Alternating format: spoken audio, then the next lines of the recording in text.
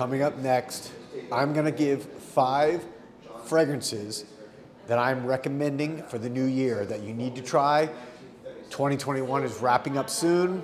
These are fragrances that have just been released in the last, you know, month or so, and they're ones that you need to get your nose on. Stay tuned to find out what they are next.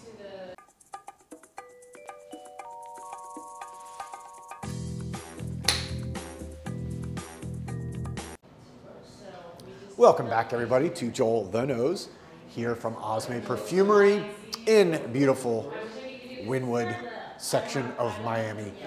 And as 2021 wraps up and the year is coming to a close, I wanted to actually answer a question that I got about a week ago during Scent Explore when I was on the panel with the fellow YouTube reviewers. One of the questions that came into the panel was, what are fragrances, what is one fragrance that you want to recommend or try for the upcoming year. So what I've decided to do was talk about five new fragrances that have just been released, you know, in the last month or so that I recommend you get your nose on and try out as soon as possible. All right, so let's get right into this, no particular order. I'll just go right from the end here. And the first one I have here is Flam from Memo Paris. This is very interesting to me because when you smell it like this up against the initial smell to me is this kind of green herbaceous almost tomato leaf almost like irish leather. No i'm sorry italian leather not irish leather. Those are two other fragrances by this house. Um, the french niche house memo.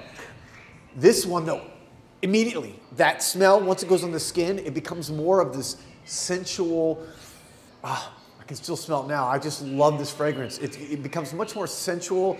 You've got cedar in there again, which gives it the kind of that skin smell. And it's just one of, I gotta say, from the last two years, I think this is my favorite release from Memo Paris in the last two or so years. And they come out with fragrances pretty regularly. So I smelled them all. This one to me is their, my favorite. Next, brand new, hot off the presses, this literally just came into the store today here at Osme Perfumery, and this is ceramic from Andrea Maack.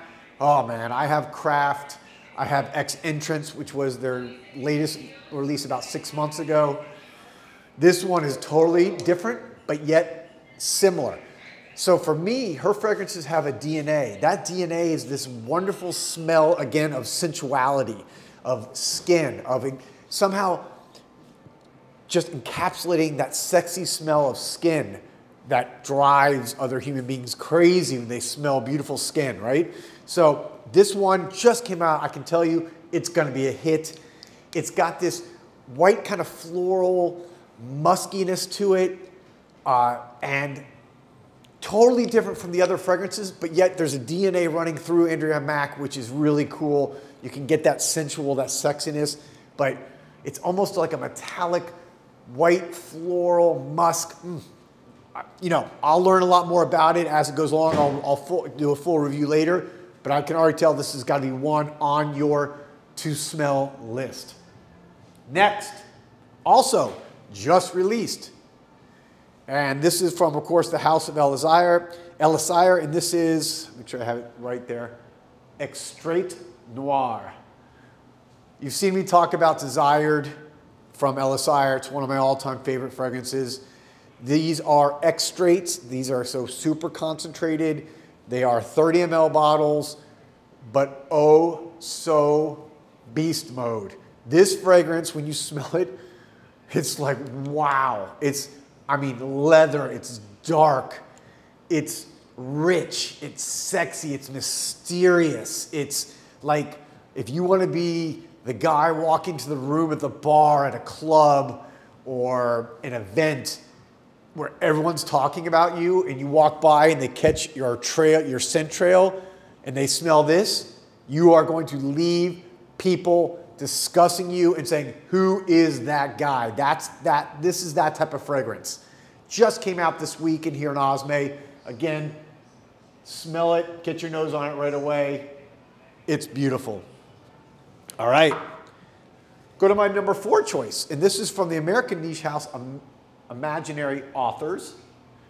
And this is make sure you guys can see it there. Yeah, you can see it, right. Fox in the Flowerbed. Also a new release, came out in the last month or so. I love this house because this is an affordable niche house for those of you looking to maybe get started in the niche world, or if you're a true niche head, great niche brand, right? So you get a basically a what is this? I think it's a this is a 50 ml bottle, Maurice. These bottles, yes. yeah, 50 ml bottles for under hundred dollars. I mean, where else can you find that in the niche world? So you're getting a top quality fragrance, and they always do something unique. Everything is is very unique. They always have one of the notes in their fragrance is like some descriptive word. So like in this one, for example, let me get my glasses because I can't read. So it lists jasmine, tulips, frankincense, wildflower honey, pink peppercorns, silver thistle, and the final note, alpine air. Alpine air, I love it, and it does. This is to me a sexy jasmine fragrance. I quickly talked about this one a few weeks ago, but I've toyed around with making my own fragrances. I've used jasmine. The minute I smelled this, I knew jasmine was in it even before I looked at the notes because jasmine a lot of times has very heavy with an element called indoles. Indoles are an element in a lot of white flowers, natural element, especially jasmine, that give this very animalic smell. So, so some people will smell it and confuse it with musk or even castoreum from the beaver or you know, sometimes even more like an ambergris, but it's not. It's actually a kind of very sexy animalic jasmine, and this has it. It's not overly animalic, but you definitely get that smell. And beautiful, beautiful smell. Lastly, we'll go with, make sure I have the right bottle. I did pick up the wrong one. Yes, I did pick up the right bottle. Another one just released from Amouage. Talked about this one the other day. Reflection Man 45 you know, this is reflection. If Reflection Man is a 10, this is a 12 as far as amped up. Uh, it's 45, meaning that is the concentra concentration of the perfume. So 45% of this is perfume oil, only 55% alcohol. Give you an example, a typical eau de parfum may be 20%, even lower sometimes, 18% perfume uh, you know, the perfume oil. This is 45%. It's also been macerated for over four months before they release it. So this is really had a chance to meld together, to blend together, and to get really strong before they put it out for sale. To me, again, Reflection Man is one of the Amouage fragrances, the original one. It's a little bit of a lighter fragrance for them. Although still strong, it's a little bit of a lighter considering most of their fragrances are very strong and very intense. This is Reflection Man amped up. If you haven't tried it, it's more expensive. You're going to spend close to $500, but it's something that's going to last you probably for most of your life if, if you use it just on a normal basis. So, all right, there you have it. My five fragrances that you need to try going into 2022.